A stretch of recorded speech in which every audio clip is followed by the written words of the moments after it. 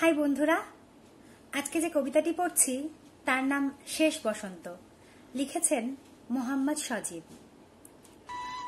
শীত ঋতুর তীব্র কুয়াশা ভেদ করে যেই না বসন্তের বাতাস দোলা দিল, ঠিক সেই সময় কানে বাজল তোমার বিদায়ী বার্তা। এমন বিদায় না মেনে নেওয়া যায়, না ফেরানো যায়।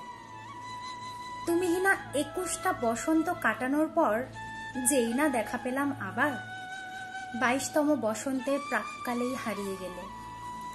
হারাবেই যদি, তবে দেখা দেবারই কি দরকার ছিল? আচ্ছা বলতে পারো, কি দোষ ছিল বাসন্তী ফুলের, কোকিলের, ফাগুন হাওয়ার, কিংবা কি দোষ ছিল আমারই? কেন একসাথে ছুঁয়ে দেখা হলো না তাদের? নেয়া হলো না কোনো ঘ্রাণ? কিংবা গায়ে লাগানো হলো না ফাগুন হাওয়া?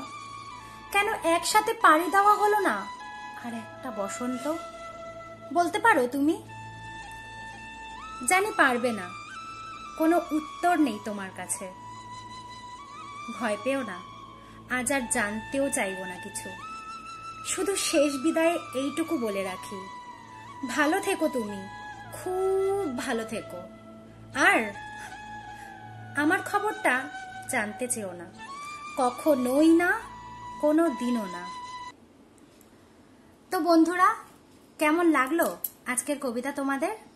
ভালো লাগলে আমাদের ফেসবুক গ্রুপ কবিতা গুচ্ছতে জানাও, আর লাইক কমেন্ট ও শেয়ার করো। আর রিম্পিস কবিতা গুচ্ছকে সাবস্ক্রাইব করো। আর ভালো থেকো।